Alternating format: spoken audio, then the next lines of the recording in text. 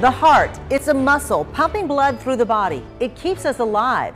It's also the organ we associate with love, love of parents, a spouse, and our children. And that's why it's so important to be heart healthy. Often we're inspired to make those changes for our loved ones. Experts say there will be nearly 24 million deaths by the year 2030, all connected to cardiovascular disease.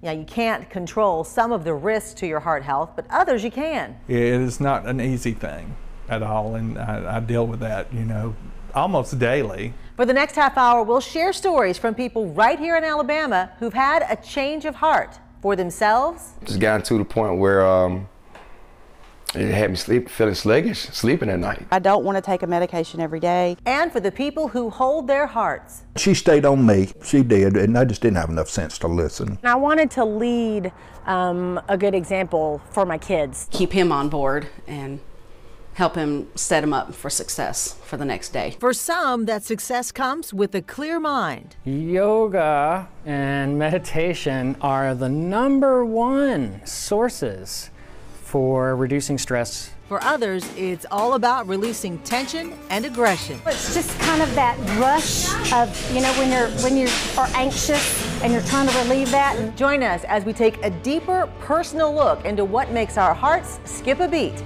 WVTM 13 Chronicle presents Change of Heart.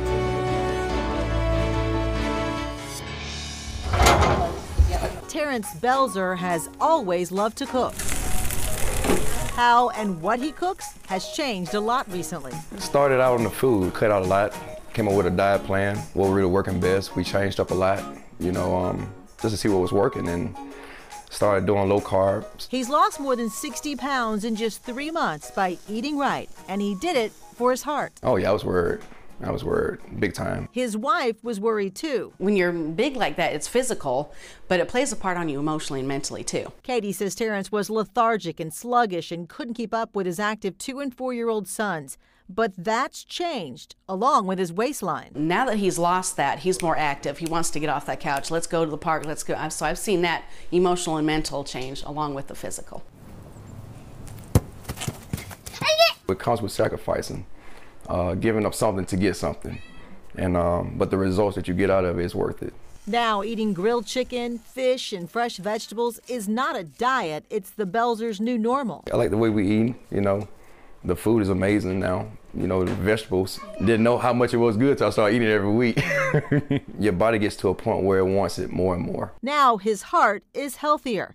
Terrence says he made this big change for the lady who won his heart almost 10 years ago. Oh man, just just been a blessing to um, really have somebody with you that supports you, love you, and build together. You know, love don't have no color at all, but you feel it, yeah. you know it. You know what? And seeing the change in Terrence motivated Katie as well. I'm seeing the results. I'm like, oh no, he can't be cuter than me. I gotta get, I gotta get with it too. So then, plus just having that accountability with him yeah. and having something to do together is what's key. We're doing this together. I mean, we just like I say, it's about a lifestyle and uh, a legacy that we're trying to continue to run and lead for our families. We do want him around. we do want Daddy around. I want my husband around for quite a while. So. And I plan on keeping him. Healthy eating is the first step in a healthy lifestyle. And as you just saw with Terrence, a byproduct of that for many people is weight loss. And that'll help your heart too. Now, if you're trying to improve your diet, doctors recommend you start small. You don't have to eliminate all sugar, all carbs, and all meats on day one. Just try one meal a day or one meal a week, even that you're thinking about making particularly healthy. Increasing, you know, whole grains, high fiber foods, fruits and vegetables, maybe making that meal or that the meals in that day to be meatless and more plant based. There are all kinds of great resources and websites out there with recipes that can make the transition to a healthy diet pain free. You can start with the American Heart Association. Their website is right there. Rain or shine, Stephanie Coffee is going to get in her morning run. That's the new Stephanie. Running is just one of several healthy habits she's adopted over the past year or so. I didn't want to be skinny. It wasn't about losing weight. It was about being able to get out and live without having to be out of breath and just try to get healthy. Her wake up call was three years ago. She was only 40 when her doctor put her on medication to lower her blood pressure. At the end of 2018, I was in the kitchen and I was cooking, and I turned quickly and I just felt faint. And um, I realized shortly after that, I looked at my Fitbit app, and in that moment, my heart rate had just spiked for no reason and then come back down.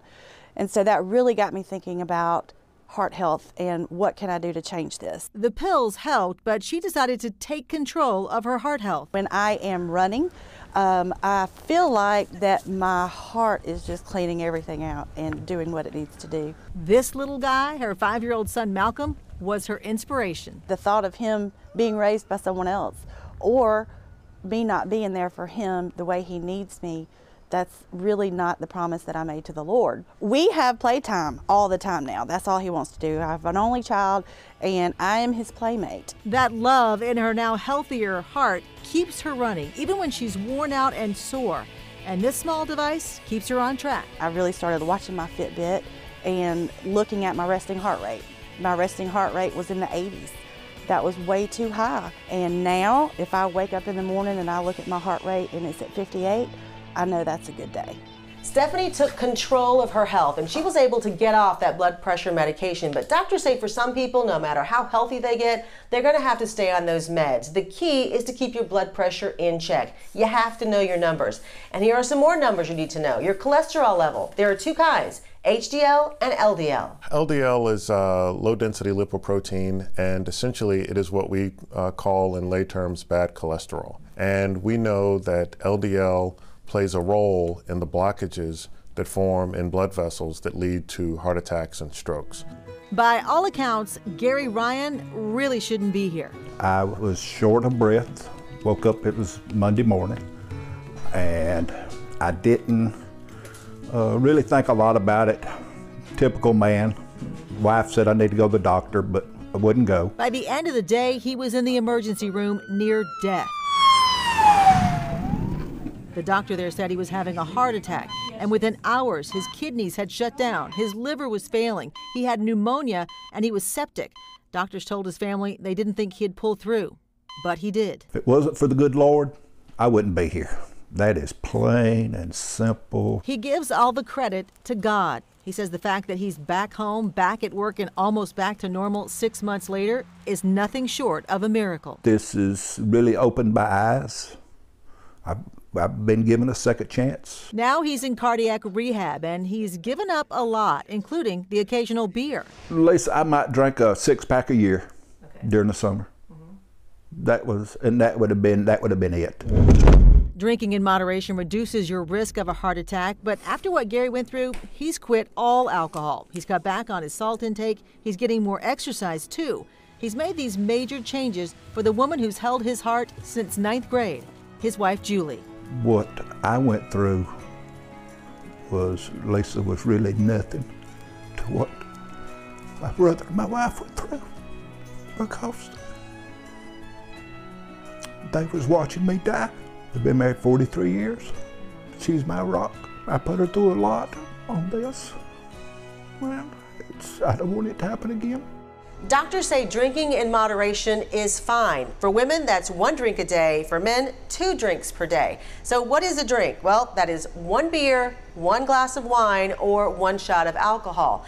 And no, they don't recommend you save them up all week so you can have seven drinks on a Saturday night. Alcohol can be toxic to the myocardium cells, and that can reduce the pumping function or how strong the heart muscle is. If you're concerned at all about how much you're drinking and whether it's hurting your heart, just do what Gary is doing and don't drink at all. Improving your physical form also improves your heart health. Coming up, the woman dancing for her future. I did it because I was a mother of two who couldn't keep up with my kids. Her journey from fitness student to fitness instructor. It motivated me, it helped me, I had people supporting me. Plus, keeping secrets from those he loves most. I just don't want that to be how it all ends for me. The man hiding his addiction from his parents while watching their health decline. I do want my heart to be healthy because heart disease is a big part of genetics for my family. The decades long smoker who had a change of heart and called it quits for the last time.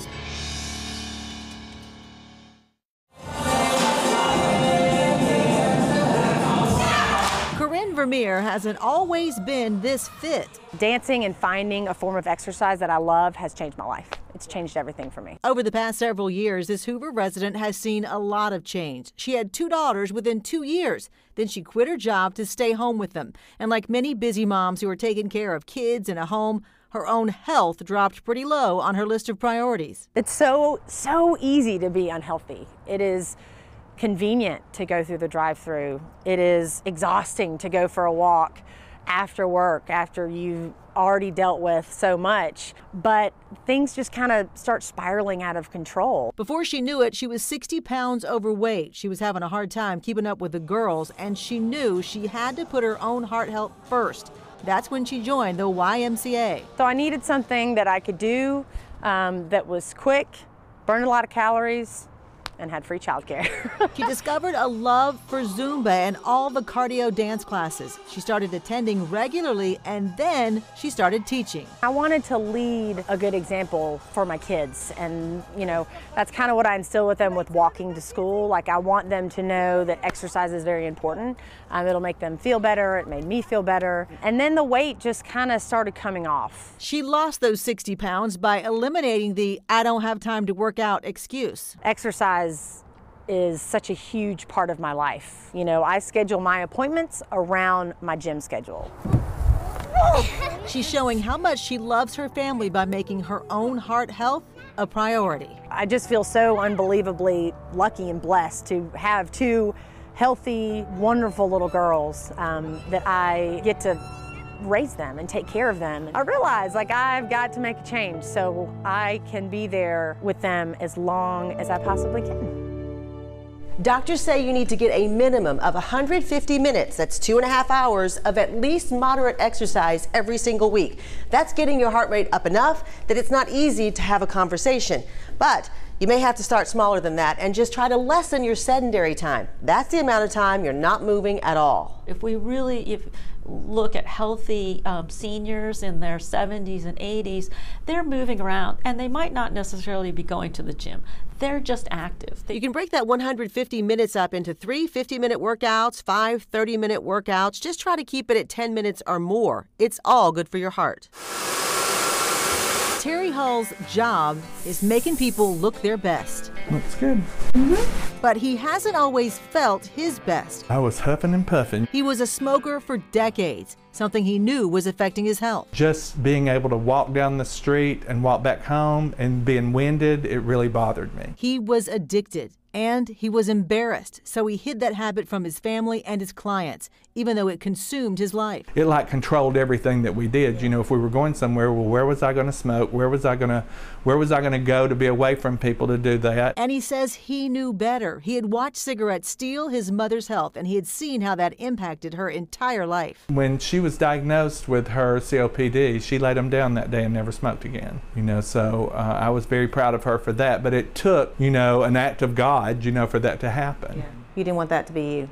I, I, I, I don't want that to be me. I mean, it's, it's really sad. It's a sad existence. His parents and his stepdad all died of COPD and heart disease. I do want my heart to be healthy because heart disease is a big part of genetics for my family. He kicked the habit once before his mom died. I quit smoking and my mother was so happy. But he started back and he couldn't bear to disappoint her, so he kept it a secret.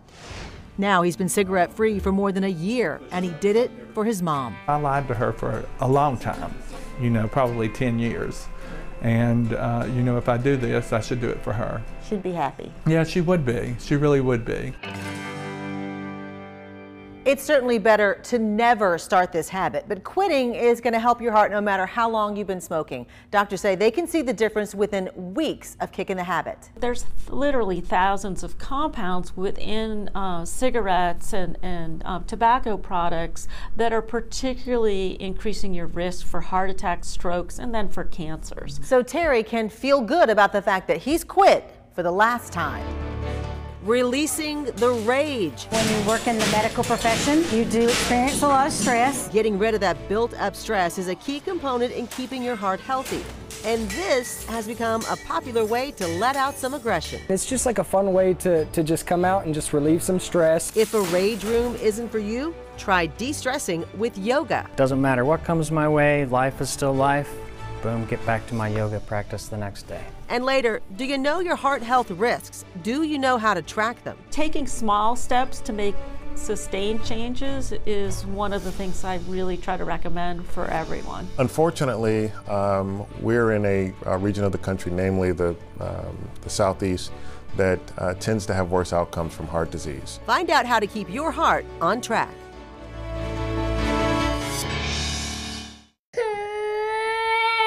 There are plenty of things in our day to day lives that can stress us out. And exhale.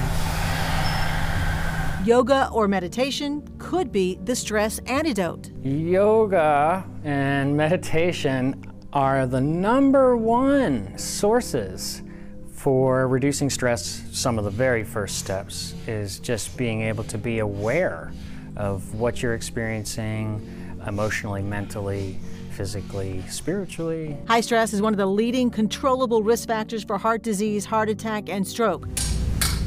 So keeping calm and staying zen is important for your heart health. It's like going into the gym and you know training with weights and you get stronger and stronger. And so it's the same with yoga practice and you can handle more and more. The nervous system is stronger. But if that's just not for you, maybe this is.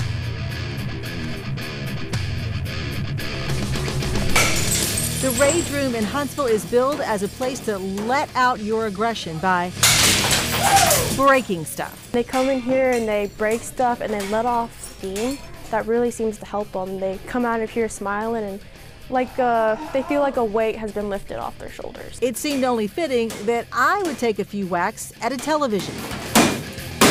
But crushing glass bottles and cups was also pretty satisfying. Those were my favorite because you could slam the um, baseball bat into them, and when they didn't break, then you could hammer them on the floor. Wow. Yeah, it was pretty cool. Melissa Byram says she has a stressful job as a medical assistant, so this trip to the Rage Room was just what she needed. It's kind of like a rush, but it was kind of like exercise all at the same time. A little different and a lot louder than this. But apparently just as effective. Stress can lower our immune system. It can cause headaches. It can make us moody, irritable, and anxious. It can even lead to insomnia. So it's not surprising, it can also affect our heart. Stress triggers the production of uh, hormones uh, in our uh, bodies, uh, and those hormones in high levels uh, are not good for our blood vessels and our heart. Whatever reduces your stress level without hurting someone else works for us. Cardiovascular disease is the leading cause of death in the U.S., accounting for about one of every three deaths in 2016. Family history doesn't doom someone to bad um, um, health outcomes related to their heart. Taking control of your health, it's the change of heart you just might need, the tools to make your heart stronger.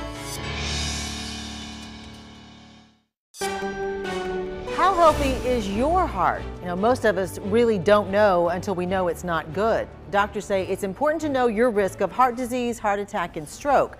So, do you smoke? Do you get enough exercise? How much alcohol do you drink? How's your diet? Are you managing stress? Are you overweight? How's your blood pressure? And what about your cholesterol numbers? Really, you can do a lot by knowing your numbers and knowing if they're creeping up and then making some changes around those numbers. Your lifestyle can really make a big impact. Culturally, we like our food, we like it cooked a certain way.